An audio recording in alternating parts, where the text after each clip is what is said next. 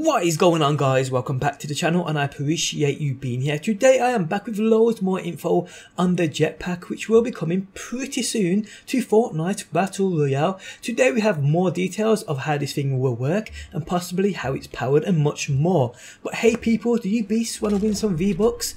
To be with a chance of winning 2800 simply drop a like on this video and leave a comment down below. Winners will be picked and announced later this week and contacted via YouTube direct message. So good luck people. So let's get into it. Now originally the jetpack was supposed to come last week but due to a last minute problem they postponed it and instead released a hunting rifle which is actually a very popular weapon many people are really enjoying.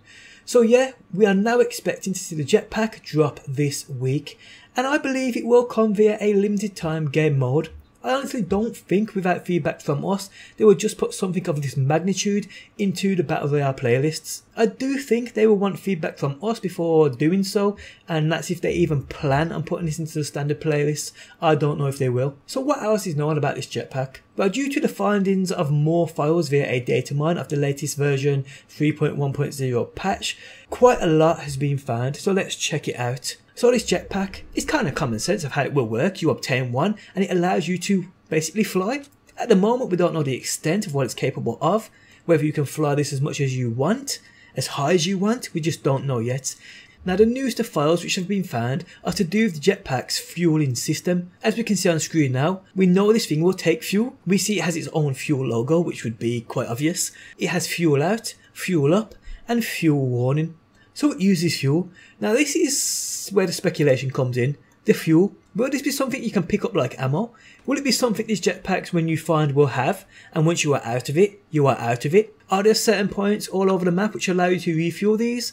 Now if you have a keen eye, you would have noticed gas stations have been added to certain areas which they weren't there before. Much like the one we can see in Salty Springs. Now this hasn't been confirmed but it could be what these gas stations are for to refuel the jetpacks. But now we know these things take fuel via their files in this data mine, it kind of gives us more of a clue onto how this jetpack will work. I'm thinking you will be able to fly maybe as high as possible, but once your fuel runs out, you are going to come tumbling back down, or maybe instead of flying up, maybe you can fly forward at stupid speed. This we'll just have to wait and see. Now we do have other files on this jetpack from this data mine, and you can see them on screen now. These files suggest the jetpack has the ability to hover. This I would say would probably be a way of saving fuel, maybe hovering reduces fuel than actually launching up into the sky or launching forward. We will just have to wait and see. So when will we be getting this jetpack?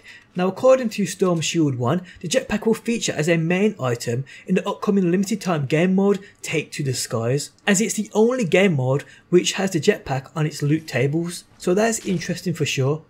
I have a feeling we may see this limited time game mode come later this week or next week at latest. And like I said people, I personally don't think they're just going to chuck this into the standard playlists. I think it will come in this limited time game mode. And if they ever do plan on putting it into the standard playlist, I think they will wait on our feedback first. Because something like this could be a major game changer for sure.